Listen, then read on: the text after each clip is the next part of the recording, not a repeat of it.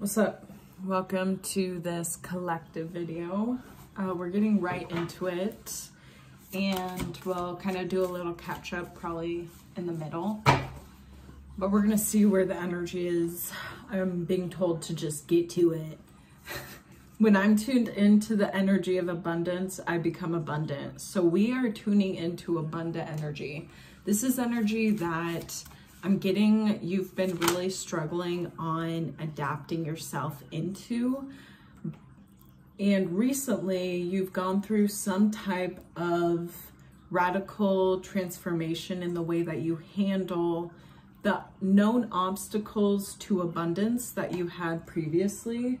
And now you are working on releasing these obstacles and you're realizing it's a lot of how you see yourself in the moment and how you allow the effect of the past, no matter if it was like for you or against you, I guess, for your like, well, okay, so yeah, because like you're always abundant, okay? And it's usually like abundance that you desire, right? And then it's also abundance that you need. And so sometimes when it comes to the things that don't go right, it kind of seems like there's a multitude of different things that go wrong all at once. And imagine that instead of wrong at that time, even though you don't know why, it is right for you at the time. There's something about where you're on your path and it's like super like a sharp turn I'm getting where you are given a lot of different outside obstacles more than anything. Um, and it's from other people. Um, it's just from like, uh, well, right now where I'm at, the weather's changing. So the kind of like the roads aren't really the best. And so there's something about, I don't know what else to say except it's like the outside is causing a lot of destruction for you in your dreams and your goals. The outside is like causing a lot of obstacles and it's like for instance oh, i don't want to say mine okay? Because like i'm trying to keep on the down low for myself okay? For myself. But it's like that where it's like things that you have to take care of uh, where you could procrastinate on it but you know that you need to take care of it because it's part of your dreams and goals later on. So there's something about taking care of the things that you're like procrastinating procrastinating on where you're like I don't have to, but if I do do this, it's going to help me a whole of a heck of a lot.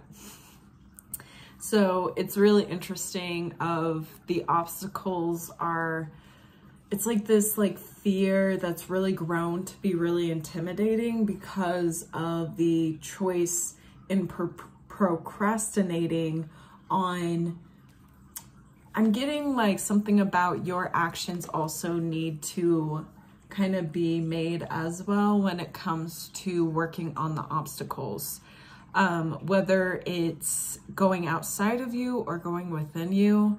I'm getting more so the within you is going to help when it comes to if there is any social obstacles that pop up where you're like get more anxious when you have to socialize and everything with people that you normally don't have to socialize with, right?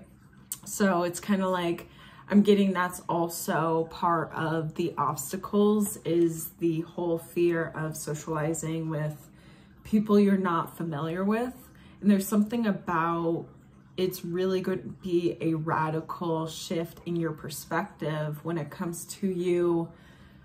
I'm getting attempting to do these different things and you might be met with like an obstacle of like, no, this is not going to work today. Um, I was met with that. so it's a sign also from like the future, from the divine, from your higher self, letting you know you're on track, yes, but it's like now's not the right time. There's something about needing to go back to the books, uh, needing to go back to the basics of the focus point more than anything. like what is the priority of the focus point of what you're doing. I'm getting right now the priority is changing and it's from you needing to take care of yourself in different ways for your like overall wellness uh, that you haven't been really focused on uh, where it's like now it's kind of like you have a lot of different outside elements that are telling you to focus on these different parts of your wellness that's been a little bit procrastinated on. That's okay. It's something where it's a, if you're able to like understand why you procrastinate and you're able to understand yeah, I'm getting it's like just listening to like, oh, I have been procrastinating on this. Uh, the reasons why, there's going to be something about who you are that you didn't even know about who you are. Like, like a side to you you didn't even know you had, I guess. Um, like for instance, if you start like a new hobby or something and you find that you really love it, you're like, oh, I didn't even know I really love, let's say boxing. Like for me, I started to like punch the punching bag and it's so cool, like learning how to punch and everything. And for me, it's like, I didn't even know really that I would love punching until I did it. But I did know because I watched a lot of like Lara Croft movies and like, I love, I love it. You know what I mean? Um, Karate Kid, yes, please. You know what I mean? So anyway, uh, the universe powerfully responds the instant I realign with love. So this realignment, the change, um, the area of procrastination where you can make those radical changes, I'm getting, it's something about you not confronting where it's like you're going to bring out fear, but it's like you are more so revealing, right? more than anything, reasons or areas, something about you loving yourself even more after going through all of these different things. Um, I see a blue jay. Blue jays have been really adamant for like the message. Uh, there's something about how blue jays are territorial. They're protective. They're very assertive uh, dom domineering types of birds when it comes to their home base. I don't really know if they travel too far from their like nest or whatever. Um, but I also do see blue jays in a pair typically. Um, or there's like a group of them. So there's something about also, I'm getting something about groups of people, groups of people who are assertive, something about also emotional boundaries. We're going to talk about that, see if that, how that all wraps into play. When I introduce joy to a situation, I change the vibrational frequency of what's happening around me. So I wonder if there's some kind of boundaries when it comes to your embodiment of joy, your state, your current state of embodiment is in joy. There's something how these different obstacles in your dreams and everything and the procrastination is really allowing the joy to get desaturated. And there's something about, man, everyone, I'm being told like, okay, Leah, you're sounding like a little pessimistic. Yeah, like there's something about that tuning into, I don't know, I don't know how else to say it, but like your inner child so that you can tune into joy. And I mentioned a little earlier about hobbies. In these hobbies, I'm getting told something about how it's really important at this time to really honor your inner child as you go through uh, these different outside obstacles that really, yeah, really mess with your embodiment of joy. And it's like the things you can't change. You know, you can't change how a person is to you. You do, though, have the ability to change how you um, handle what is given to you by another. Okay, here we go. Ooh, so I'm seeing a squirrel. I wish I could show you. maybe one day, maybe one day, but I'm seeing a squirrel actually, and I think, I don't know, and the blue jay is like, uh, was loud. Interesting, interesting. It's, it, it looked like right at me. I love it. anyway, so what I'm getting is there's something about uh, working right now, right now, like in your life, on boundaries, on emotional boundaries when something about how it's, I don't know if it's like spe specifically for joy, but there's something where these boundaries are really going to be able to help you feel separated from being given or like, well, not from being given. It's like from basically thinking that whatever you're given by another person in the way that they treat you is how you're supposed to be treated forever. There's something about how we're really radically changing the way that you perceive yourself in the moment when you're given a lot of BS by other people and their behaviors in the moment. Um, and there's something about also, because I'm getting that you're someone who does know in terms of intention, in terms of like intentional, how would I put this? Direction of intention from someone else outside of you. It's something where you've gone through a lot of experiences really I would say I'm getting like misjudging someone and taking their word over your own intuitional kind of like nudges. Totally fair, okay? But there's something about how there's something where it's like this is like the emotional boundaries is tied to that sort of conditioning where you're conditioned to really perceive someone else as they know more of who you are than you know yourself in the moment. It's something about where it's like, I don't know what, but you're working, I'm getting on grounding yourself in the moment and listening to how you feel.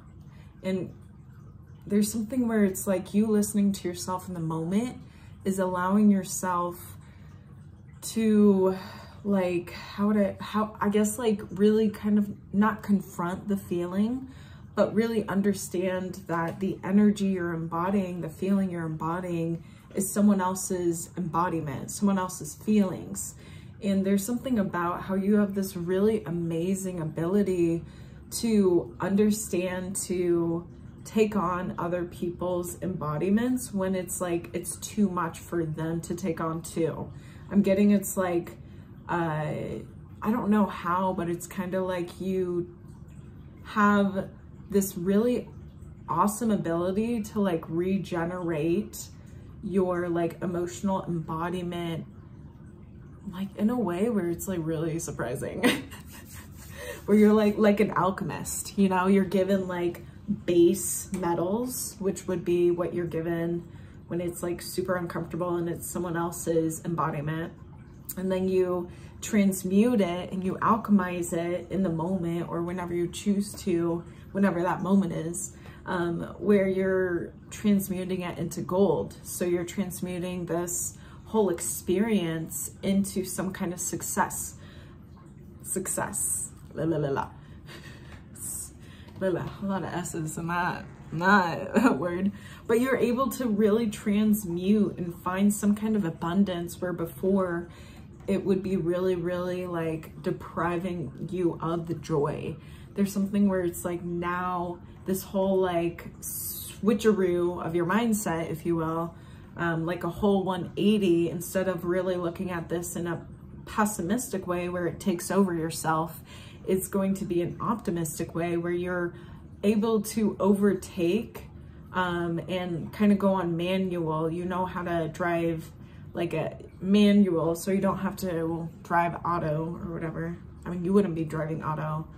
The vehicle will be the auto, you know, the vehicle will be driving, right? So we, when in times when you get to that place where you start to feel like everything is getting out of control, like you yourself are out of control. I'm getting that this is where you're really working on those radical changes to gain control in ways where you've adapted from different kinds of uh, childlike fun activities like I don't know. Personally, for me, I love walking. I love singing. I love talking. I love creating for like my inner child activities. So that's kind of what I tap in and tune in to do. Um, for you, it's going to be similar, where it's going to be something of your inner child feels joy, feels elated. And so the really amazing thing is that in the moments that you choose to do like those activities to separate yourself from, I'm getting like from focusing on the chaos is when the obstacles are able to be like released, unblocked, and removed. So it really is like, wow, you are an important person in your journey. Like, mm, that's amazing. You see how intense my vein is? Yeah, that's how intense this stuff is. Oh yeah. wow, it really is. Ah, yeah. Wow. I did not Sorry, I'm like caught off guard by the veins in my forehead. Good Lord, there must be a lot of blood going into my third eye. okay, that's funny. But yeah, so when I introduce joy to a situation, so like when, when you know that there's some, like, I don't know, something where you're just like, that is an unfortunate event I just went through and I need to still take care of yeah, it's like these events where you weren't planning on this kind of chaotic, um, like things going awry, awry, awry. I'm also seeing a hawk, just to let everyone know. Seeing a hawk, okay? So if a hawk is significant to you, however it's significant is, there it go. Anyway, so um, yeah, there's something about that though, where it's like you are now taking over control of these situations where before you would have been really like, yeah, like depressed and like anxious and it would have really eaten, oh, gotten under your skin, like something that really bothered you later on. It's very interesting because you're saving yourself a lot of time and energy in the future of having to like cut through these kind of energetic emotional cords that you have with your past self and your emotional body back then and then your present self and your emotional body now. It's interesting because with time and everything and how us as individuals experience time, we experience it differently altogether through the experience itself. And so when you go through life and you go through these really uncomfortable like moments in life and it's like kind of traumatizing, okay? Those are moments that will be with you throughout your life until you choose to work on letting them go and you choose to acknowledge that they really did shape you in a certain way, but it's not you in the entirety of who you are. In the future, you're going to go through experiences similar where you can prevent yourself from kind of going down in like the downward spiral by allowing yourself to like set those emotional boundaries, allowing yourself to separate from whatever it is that's the source of the frustration, thus saving you time and energy from having to do that anyway. Um, and this will also, I'm getting, really help build your trust in yourself when it comes to how you live your lifestyle day to day. Period, point blank. Okay, cool. Let's see what else. I let the universe catch up with my dreams. So this is kind of like, I'm kind of getting like intermission. You know, you're, um, yeah, you're on like the manifestation journey kind of lifestyle sort of thing, where it's based off of your intention set is something where it's like you know enough to know the outcome of your action in the now, which is so lit, y'all. Lit, right? So since you know this, like I'm gonna say you are way more evolved and you choose to do this, mind you. You've made this choice on going on the journey. You've gone to a point where you can recognize your state of embodiments in the now. And notice that I say S with embodiments, emotional, mental, spiritual. Oh my gosh. Oh my gosh, y'all. I could cry. I am literally seeing like a group of crows pass on by. Hold on, I need to take a minute. That is so, confirmation, y'all. Like you have come so far and I'm getting that you were really questioning a lot of things about who you are just as a unique miracle of life and a lot of these different things that you've really been dealing with have um like you've really kind of separated from who you are because there's something about the whole mind play that comes into play when it comes to other people being dishonest while you are honest and you choose to stay honest and you choose to follow your word. And there's something about how these emotional boundaries are really helping you understand what it is that you feel within you that's you and then also what is within you that isn't you. And there's something about how it's like, this is part of your life. Like you are someone who has this ability to regenerate the way that you see yourself so that it's, it's so beautiful. Like, I'm just getting like a job well done from like so, so many, uh, support on the other side in like the spiritual realm. Like the world needs people like you so much. And it's just so amazing because like, bro, like your presence is bringing me to tears because I'm just so glad that you're here. And it's like so incredible because it's like you don't even see it within yourself. Like you're getting there, but there's been a lot of years where you saw yourself with like disgust and it's totally understandable because of the way that you felt, right? And so the more that you allow yourself to let go of the past and not like throw it away, but you're finding honor like within yourself that connects you to the past, that satisfies your past self. And I'm getting it's like how you treat yourself in the now is really how you're really going to honor the past selves that went through so much, so much that like broke your heart, that separated who you are, your hopes, your dreams. Now I'm really seeing you really like making the hard decisions that before you were really scared to make, now you're making. And it's really revolutionary of liberating your own like soul. Ah, amazing, amazing. Okay. All right. like, y'all, y'all, y'all. The universe has big plans for me and it's time to claim them. the more that you allow yourself to claim what I'm getting like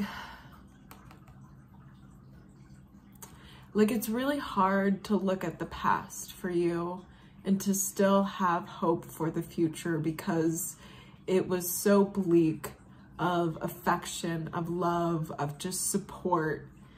And there's something about you're supporting yourself now like when you support yourself now, when you listen to yourself now, when you honor how you feel now in every situation you're in, in the day to day, is the support that you needed back then that you're giving to yourself. The more that you allow yourself, even if you start to feel that fear of like things will go bad again, there's something about